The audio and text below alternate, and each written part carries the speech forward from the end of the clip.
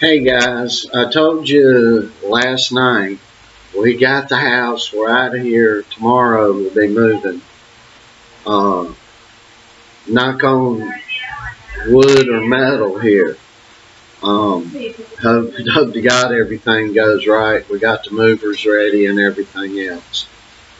I said last night I was going to start putting some video, a little bit more videos out, and I mentioned that maybe I get some guys to help show us increase, uh, help show you how to increase some strength and uh, a few other little things here or there. We don't like to show all our cards or open our vest pocket a lot around here, and there's a lot of reasons for that. Uh, that's why sparring in training sessions for professionals are usually closed and sealed off. It's to not show everybody what you're up to. But we're going to try to help some other kids out here. And uh, one thing I'm going to do, I'm going to share, I probably in the pinned section of the comments on this channel, and possibly in the description box on this channel also. Um,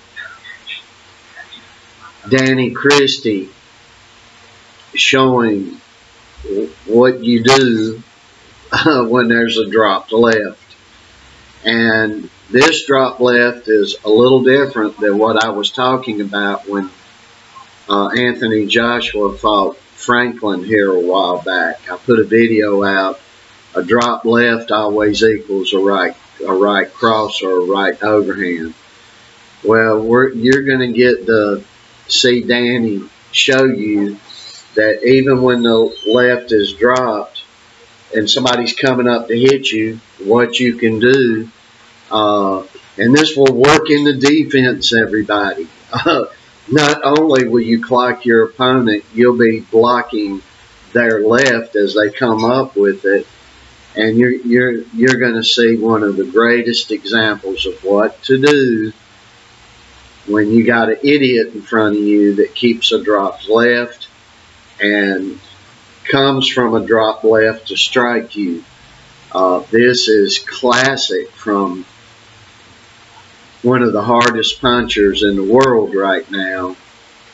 Uh, and you're going to see him knock a thicker a bigger guy.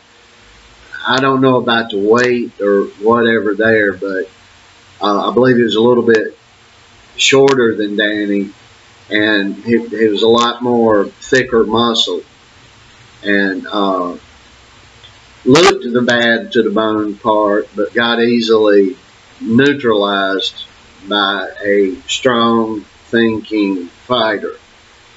And folks, it ain't rocket science. You just need to pay attention to what you're doing in the chaos. Keep your mind on what you got going on.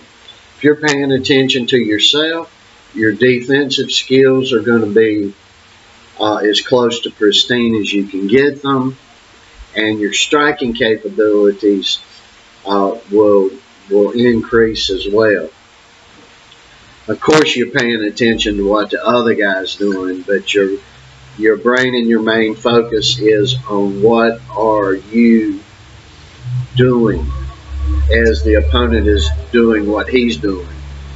You got to keep the focus on yourself, keep the focus on how am I going to react to this, uh, over what is he going to do next.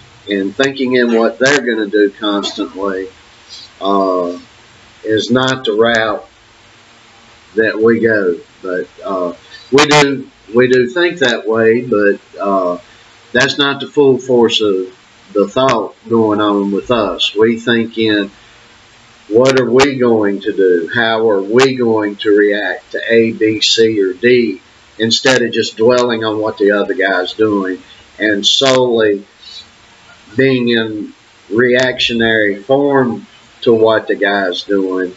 Uh, we're thinking about this guy does this, we're going to do A, B, C, D, E, F, G, and knock him spark out in the process. So Uh, I always tell guys, switch your mentality over from 90% of the thought process and the chaos being, oh my God, what is he going to do next to staying as calm and focused during the fray and having your mind on what you're you're going to be doing to him. And, and uh, and you can do these things. It just takes a lot of sparring and being in a lot of the chaos um, and you can come up with these things. But I'm in the pinned comment section and probably in the description section. Just hit this. It won't take you. It's about a 20 or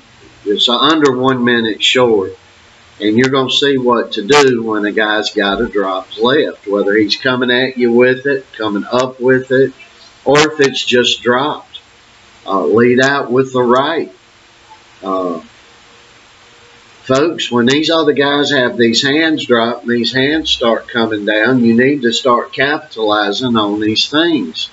If you're sitting there and you got a guy in front of you and his hands are down here, you need to be going up here. If You got a guy up here and his hands are up here, you need to be going down here.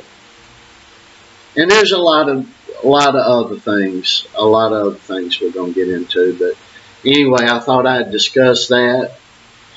A picture is worth a thousand words. A video is worth a million. So go down here, hit the link. It won't take you 20 or 30 seconds to watch. And get a treat of somebody paying the price for dropping a left.